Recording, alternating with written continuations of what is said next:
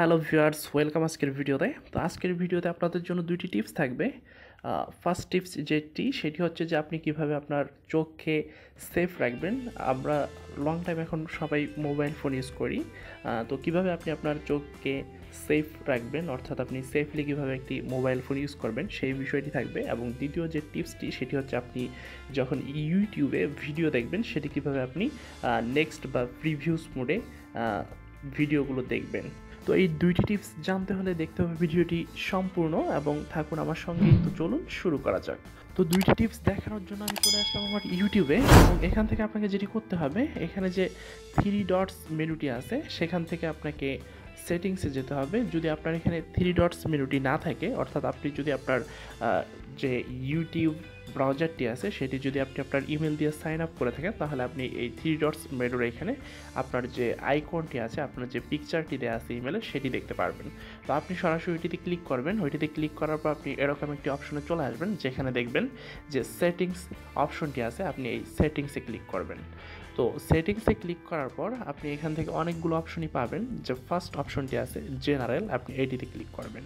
তো generally click করার পর আপনি এখান থেকে দুই নাম্বার যে অপশনটি আছে ডার্ক থিম আপনি এটি অ্যানাবল করে দিবেন। ডার্ক থিমটি যদি আপনি অ্যানাবল করে দেন, তাহলে আপনি দেখবেন যে আপনার যে ইউটিউবের যে লুক সেটি পুরো চেঞ্জ হয়ে গেছে এবং এটি ডার্ক মোডে চলে আসছে।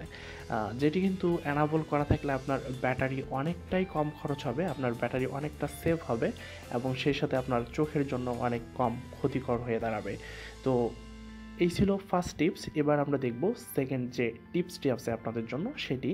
তো সেকেন্ড টিপসটি হচ্ছে যে আপনি কীভাবে একটি ভিডিওকে সামনে অথবা পিছনে দেখতে পারেন। অর্থাৎ আপনার ভিডিওকে আপনি একটি নির্দিষ্ট পরিমাণ সামনের দিকে এগিয়ে নেক্সট করে বা পিছনের দিকে প্রিভিউস করে দেখতে পারেন। তো এর জন্য আমি একটা ভিডিও ওপেন করলাম। আমি চাচ্ছি যে এই ভিডিও সামনের দিকে দেখব। তো আমি চাচ্ছি যে এই ভিডিওটা সামনের দিকে একটু এগিয়ে দেখব বা একটু কেটে দিয়ে দেখব। তো এর জন্য আমি যদি সাধারণত ভিডিওর যে স্ক্রিনটি আছে, সেখানে রাইট সাইডে দুইটি ডাবল প্রেস করি। তো ডাবল প্রেস করলে আমি দেখব যে এখান থেকে দশ সেকেন্ড ভিডিওটি নেক্সট হয়ে যাচ্ছে। আমি যদি আবার ডাবল প্রেস করি তাহলে দেখব যে আবার সেটি দশ সেকেন্ড নেক্সট হয়ে যাচ্ছে। তো আপনি চাইলে সেটিংসে গিয়ে এটি দশ থেকে তিরিশ সেকেন্ড বা আরও বেশি আপনি করে নিতে পারেন।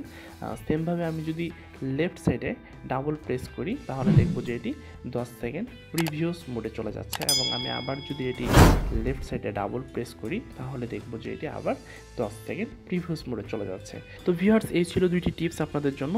কেমন লাগল সেটি অবশ্যই কমেন্ট করে জানাবেন। এবং যদি ভালো লাগে তাহলে অবশ্যই একটি লাইক করবেন, আর অবশ্যই আপনার মতামত আমাদেরকে আপনার কমেন্টে জানাতে পারেন। তো কথা হবে পরবর্তী কোনো ভিডিওতে। সেই পর্যন্ত সবাই ভালো থাকবেন, সুস্থ থাকবেন। সেই কামনায় আজকের মতো এখানেই বিদায় নিব আমি, রাইসুল ইসলাম রাসেল। আল্লাহ হাফেজ।